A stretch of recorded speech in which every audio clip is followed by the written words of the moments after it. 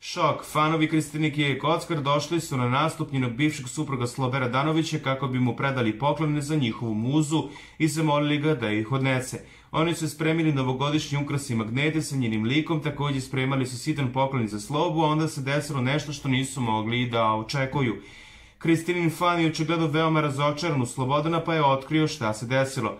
Bivši zadrugar je odbio da odnese kockarevoj poklon, a ono što je ono odbio poklonio je gostu u klubu. Obožavalac ipak našao način da poklon dođe do Kije, a onda je u porukama napisao Hvala što nije Kin poklon završio kanti, hvala ti do neba što si pokazala Ki, ne znam zašto nije hteo gospodin Sloba da je ponese mali božićni paket, ako nije hteo on lično da je preda, mogao je da je uruči preko zajedničkog menadžera ili prijatelja, a ne jednostavno da ostavi u klubu, napisao je fan pa zatim nastavio.